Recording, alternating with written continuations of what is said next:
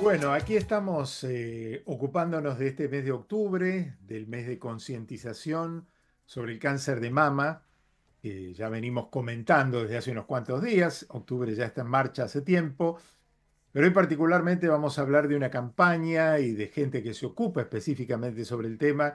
Y lo tenemos nuevamente en el programa, digo porque hace unos meses estuvimos hablando de cáncer de cabeza y cuello con él al doctor Carlos Alberto Silva, matrícula nacional 62.549, médico oncólogo, director médico y coordinador médico del área psicosocial del ALSEC, co-coordinador de esta área, jefe de servicio de oncología del Hospital Británico de Buenos Aires, consultor de, de oncología del Hospital Universitario Austral y director y profesor de oncología en la Facultad de Medicina de la Universidad Católica Argentina. Doctor Silva, bienvenido al programa. ¿Cómo le va? Muy buenas noches.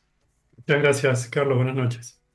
Bueno, un gusto de tenerlo nuevamente con nosotros aquí en el programa y particularmente con, en este mes de octubre, este mes rosa, como se le llama, de concientización del cáncer de mama. Bueno, ¿qué, ¿qué podemos decir de nuevo de todo lo que hemos venido diciendo años anteriores? Y sobre todo a partir de la campaña que lanza LALSEC sobre esto de no te cuides a medias, ¿no? Como proponiendo de que uno se puede cuidar en muchas cosas o dejar a medias muchos temas, pero en esto no, ¿no? Claro. Sí, en realidad lo de no te cuides a medias se refiere fundamentalmente a que muchas mujeres hacen autoexamen de sus mamas. El autoexamen es importante, pero no es suficiente. ¿Por qué no es suficiente? Porque, a ver, si uno tiene un tumor de mama de un centímetro de diámetro, su probabilidad de curarse es del 90%. Generalmente el autoexamen llega a discriminar un nódulo cuando tiene 15 milímetros, es un centímetro y medio más o menos, dependiendo mucho de la conformación de la mama, ¿no es cierto?, de la relación volumen-nódulo, bueno, en fin, una serie de cosas que hacen que esa sea más o menos la medida. Y por otra parte, como la mujer no es experta, una experta, va a notar y es importante que note si tiene, si tiene algo. Pero también se le pueden escapar cosas, ¿cierto? O sea, supongamos que la persona tiene cierta aprehensión este, o es sugestionable, se va a palpar un montón de cosas que le van a parecer un nódulo y va a vivir toda su vida en, esa incertidumbre, ¿no es cierto? Eh, por ejemplo, cuando tienen displasia mamaria, que es una mama nodular. Eh, y si por ahí son un poco negadoras, ¿viste? Les va a parecer que no se palparon nada. Entonces, eso tiene que estar acompañado del examen experto, de un médico experto, ya sea su ginecólogo o un patólogo mamario preferentemente, y de un estudio por imágenes, que es la mamografía, que se acompaña habitualmente de una ecografía mamaria. O sea, y eso es algo que eh, aumenta muchísimo la sensibilidad del, método de, de, los exámenes y permite detectar tumores más pequeños, incluso de un centímetro, que es el objetivo que uno tiene en estos casos. Claro, o sea, no está mal que uno se palpe, eh, que la mujer se palpe, pero no es suficiente, digamos, que tiene que tener el estudio regular. ¿La regularidad sería anualmente? La, regularidad sería a partir de los 40 años en forma anual. Esa sería la regularidad, salvo que existan floridos antecedentes de cáncer de mama en la familia, o algún síndrome hereditario conocido, o algún cáncer de mama en la familia de edad menor de los 35 años. Mm. En ese caso, debe comenzarse con la mamografía 10 años antes de la edad de quien más joven lo tuvo en la familia.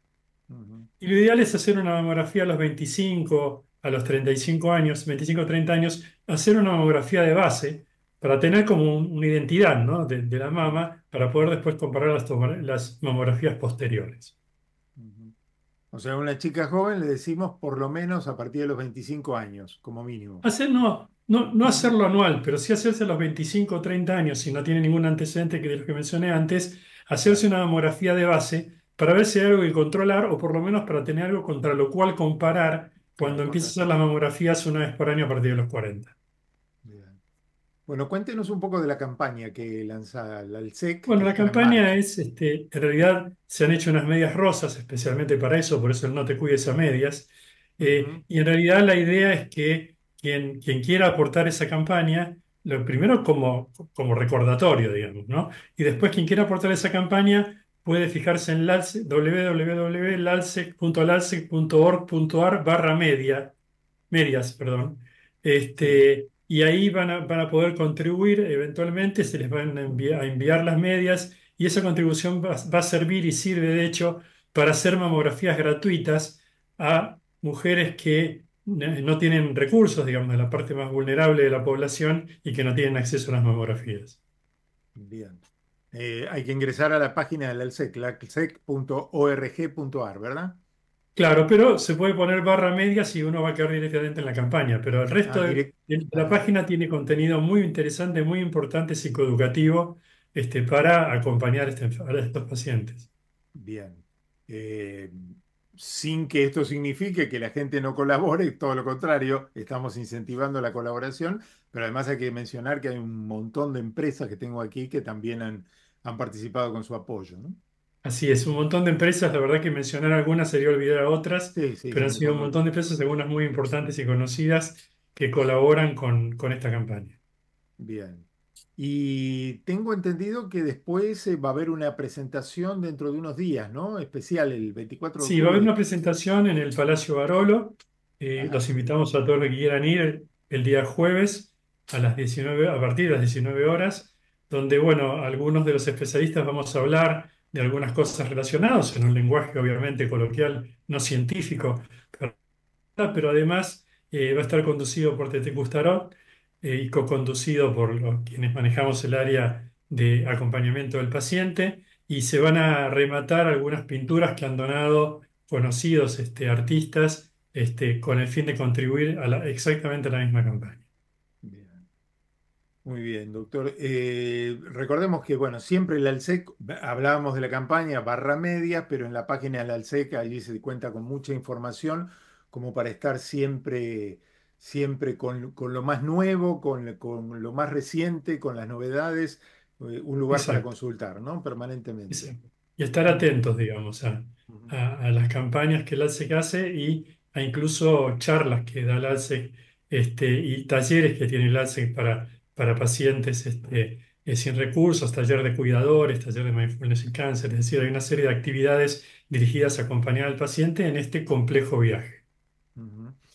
¿Estamos bien o estamos mal, digamos, en cuanto a la concientización? ¿Cómo, cómo, cómo ve a las nuevas generaciones sobre todo? Es muy difícil medir concientización, o sea, cuál es el, el metro de la concientización, ¿no es cierto? Habría que hacer este, campañas y encuestas que no siempre son fáciles de llevar y que son muy heterogéneas, depende de la parte del país e incluso dentro de un mismo sitio del país, entre qué clases sociales uno hace estas encuestas. No hay una encuesta en este momento que refleje esto, pero lo que sí sabemos es que la mortalidad por cáncer de mama está disminuyendo un paso de prácticamente 1% por año.